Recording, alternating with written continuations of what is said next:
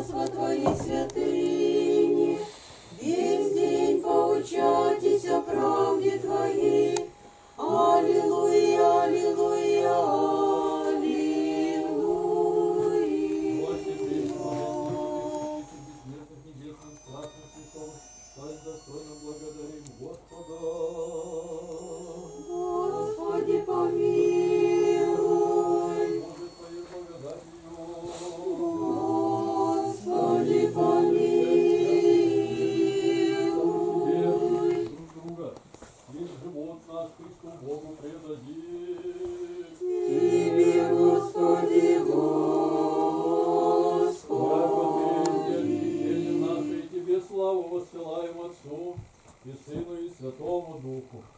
ныне присно и во веки веков.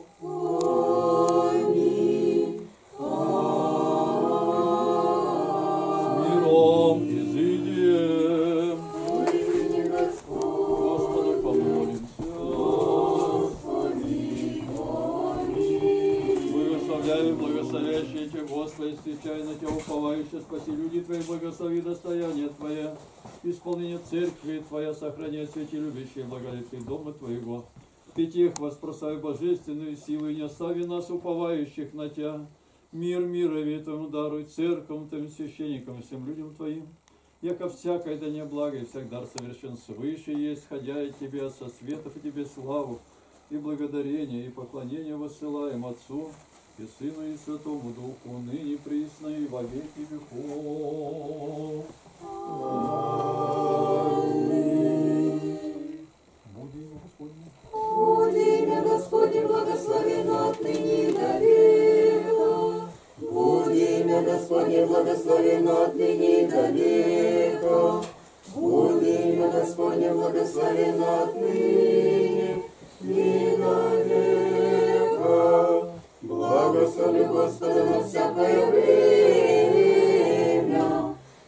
Хвала Его во устах моих. О Господи, похвалится душа моя, да услышат кротцы и возвеселятся. Возвеличите Господа со мною, и вознесите нижнего в купе, взыска Господа и услыша мя, и от всех скорби моих избави мя. Приступите к Нему и просветитесь, и лица ваши не постыдятся. Все нищие возвали Господь услышай, и от всех скорби его спаси. Ополчится ангел Господень, призбавившийся его, и избавит их. Усите, видите, яко благ Господь, блажен муж и же уповает на нь. Бойтесь Господа, все святые Его, яко не смешение боящимся Его, богатям нищаша и взалкаша. Взыскающие же Господа не лишатся всякого блага. Чадо, послушайте меня, страху Господню научу вас. То есть человек, хотя живот, любит не видите благи. Удержи язык твой от зла, и усы твои, еже не глаголотисти. Уклонись от зла и сотвори благо. Пожени, очи Господни на праведные, и уши его молитву их, лице же Господне на творящие злая. Еже потребите от земли памяти, вас ваши праведнее Господь услышай, и от всех скорбей их избави. Близ Господь сокрушенным сердцем, и смиренные духом спасет. Многие скорби праведным, и от всех их избавит я Господь. Хранит Господь вся кости, ни един от них сокрушится. Смерть грешников люта, и ненавидящие праведного прегрешат, избавит Господь души раб своих, и не прегрешат все уповающие на Него.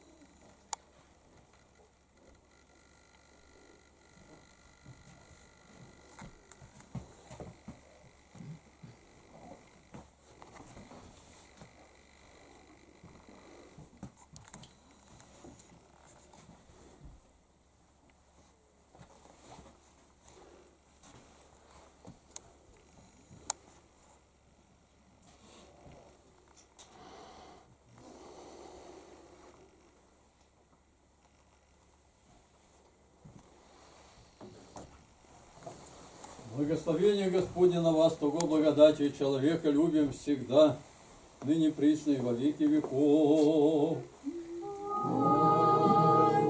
Слава Тебе, Христе Божий, упование наше, слава Тебе. Слава Отцу и Сыну и Святому Духу, и ныне и присно, и во веки веков. Аминь. Господи, помилуй, Господи, помилуй, Господи, помилуй.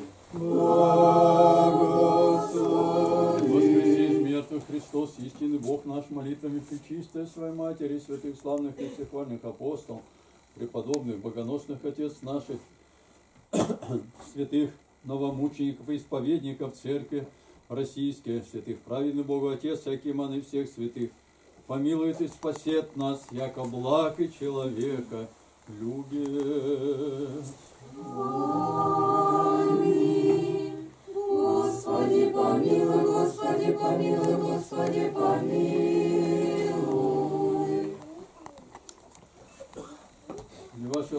Назидания прочитаю я небольшой отрывок из беседы святителя Иоанна Златоустова «Пример покаяния». Это говорится о покаянии ниневитян из книги пророка Ионы. О, удивительное чудо, страшен людей, но возделенное ангелом. Представь себе со мной многое множество мужей и жен, детей, облегшихся во вретище, собравшихся вместе, оставивших обычное занятие и человеческие дела. Представь, что никто ничего не делает, и все вместе, вместе высылают молитвы, плач и вопли к небу. Представь исчезнувшим неравенство между господами и слугами, между начальниками и подчиненными. Представь царя, в таком же одеянии, находящимся среди народа и совершающего служение Богу, как какое-либо государственное дело. Это слово дошло, говорит до царя Ниневии, и он встал с престола своего и снял с себя царские облачения свое, и оделся во вретище и сел на пепле. Книга пророка Ионы, 3 глава. Раны пурпура он врачует вретищем, грехи трона очищает сиденьем на пепле, болезнь гордости врачует скромностью одежды, постом раны роскоши. И показав это самым делом, он побуждает всех таковому же усердию через особое объявление. И повелел провозгласить, чтобы ни люди, ни скот, ни волы, ни овцы ничего не ели, не ходили на пастбище и воды не пили. Седьмой стих новый царский закон, не новый царский закон, как врач, он назначает больным воздержание от пищи, а лучше апостольским постановлением и благочестив, о благочестивом посте подражает этот роскошный законодатель, повелевая бессловесным участвовать в посте людей для того, чтобы при посредстве невинной природы приобрести большую милость Божию, и чтобы покрыты были вретищем люди и скот. Стих 8. О небесный строй! О воинство, приводящее в страх демонов! Горько стало дьяволу, когда он увидел все свое войско, обратившимся к Богу и воюющим с демонами. Когда в эту борьбу вступили и дети, и жены, малолетние дети вместе с взрослыми, когда бессловесные животные в качестве соратников были привлечены к воинскому строю. Дерзайте, неевитяне, дерзайте, человеколюбивый царь воюет с нами. Только победив упорных своих врагов, он, оставив гнев, делается благодетелем. За словами следовали соответствующее дело – пост, вретище, усердная молитва, слезы, удаление от зла. Вопияли, говорит, прилежно к Богу, и обратился каждый от пути своего лукавого и от неправды, сущей в руках их. То есть не просто поставили, а прекратили все лукавые дела свои. Не просто читаем, а каждый должен... Пост, начинается пост.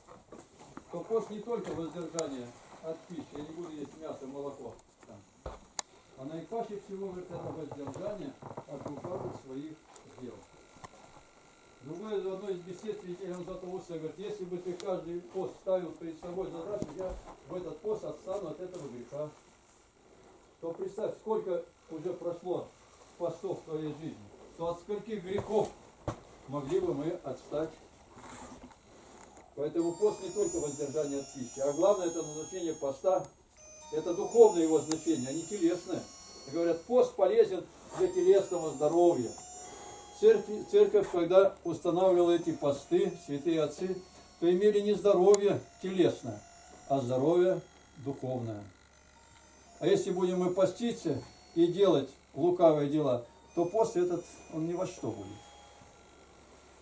Обращается к любомудрию, к самым высшим вопросам любомудрия. И венец добродетели делает основанием добродетели. Каждый старался исполнить великое доброе дело – всего более угодное Богу. Видели начавшуюся войну небо с ними и укрепили себя добрыми делами, как стену. То есть добрые дела. Нужно различать добрые дела. Доброе дело можно говорится, помочь человеку в его грехе. Считаем доброе дело, я помог человеку. Но добрые дела, которые угодное Богу. Вот это добрые дела. Других добрых дел нету. Нужно а угодно это дело-то Богу или нет? Сораз, сор, со, со, сверкавшим вверху молниям они противоставили внизу молитвы и прошения ударом грома, звуки песнопений. Пост сделался для них крепкую башню потоками слез, омыли множество грехов, врагов сделали друзьями, чтобы примириться с Богом, сами оставили гнев на оскорбивших их, чтобы прикры, э, прекратить гнев на них. Владыки,